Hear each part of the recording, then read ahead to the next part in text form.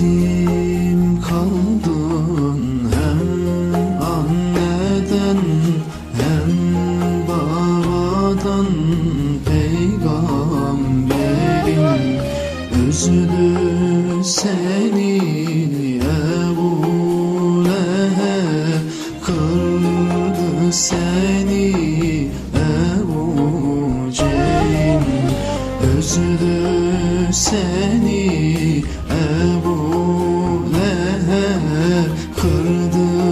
seni Ebu Cehil